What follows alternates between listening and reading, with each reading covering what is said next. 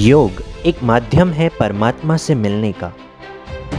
योग एक माध्यम है अपने शरीर को स्वस्थ रखने का। योग एक माध्यम है अपने विचारों को श्रेष्ठ बनाने का।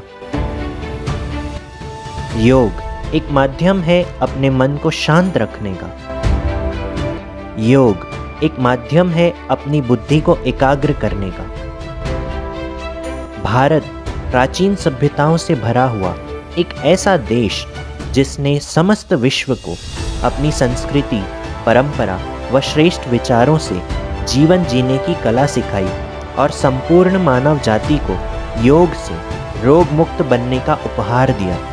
बट वेट वेट वेट क्या योग की परिभाषा अपने शरीर को स्वस्थ और संतुलित रखने तक ही सीमित है? नहीं, बिल्कुल नहीं। योग न केवल शरीर को, बल्कि हमारे मन बुद्धि और आत्मा को भी एक संतुलित रेखा में रखता है। तो क्यों ना हम इस योग शब्द की गहराई में जाएँ और अपने जीवन को संपूर्ण स्वास्थ्य की ओर ले जाएँ।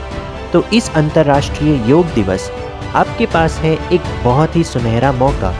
Free physical exercise from the experts and guided meditation by meditation trainers तो फिजिकली और मेंटली खुद को फिट करने के लिए जुड़िए हमारे साथ इस Monday 21 June at 11 M for only 40 minutes only on YouTube channel Brahma Kumari Dhamtari आइए बढ़ाएँ एक कदम स्वस्थ जीवन शैली की ओर, निरोगी काया की ओर, मन की शांति की ओर।